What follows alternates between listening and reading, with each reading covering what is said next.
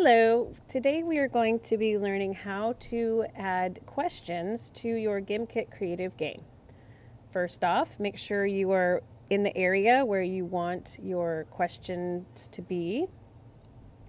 We're going to click the plus sign, click on devices, and to find it very easily, type in QUE and questioner pops right up. We're going to click on that. Place it where you want it. Next, we are going to add a device. We're going to type in item spawner, which is item granter, sorry, item granter, and put that next to your questioner. And this is going to decide for you what is their reward when they get answers correct. So I like to have cash for mine. So where it says item to grant, I'm going to type in CAS and it pops right up and you set the amount that they're going to get. We're going to leave all this alone. Close that up. Next, we have to wire this. We have to make sure that the questions that are answered correctly get that money. So we're going to click the plus sign, close out devices, click on wires, and we're going to wire from the questioner to the item granter. And now, when their question is answered correctly, we're going to grant item. And we can close that up. Now we're going to format the questioner. We'll do this part last. We go to interface.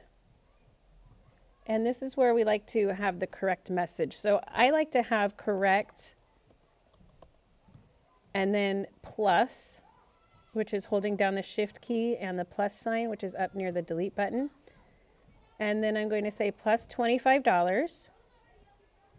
And when they get it wrong, I'm going to say incorrect and do minus $25.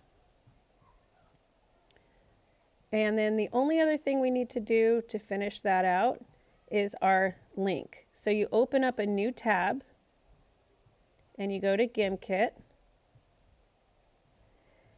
And if you don't have kits already made, you can search kits. So right up here, click search kits. And maybe you want a division kit.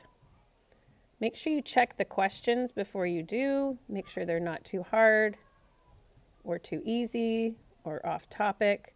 So this one looks pretty good. I'm going to click on that. And then right over here, we're going to click the share button. And we're going to copy this link. Now we go back to our tab with our game and we're going to paste it. Uh, I have a MacBook, so I do Command V and that will paste it. If you're on a Chromebook, you're going to do Control, which is the button that says CTRL and then you're going to type the letter V while you hold the control button.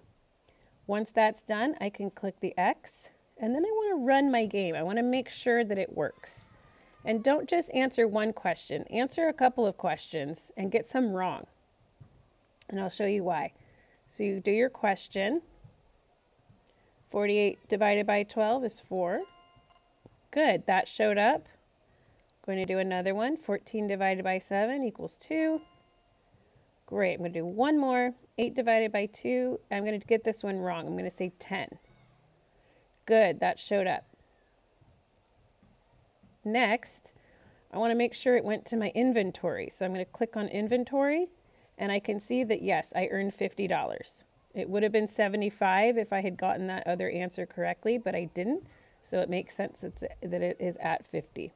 And that is how you add a questioner to your game. Thanks for watching.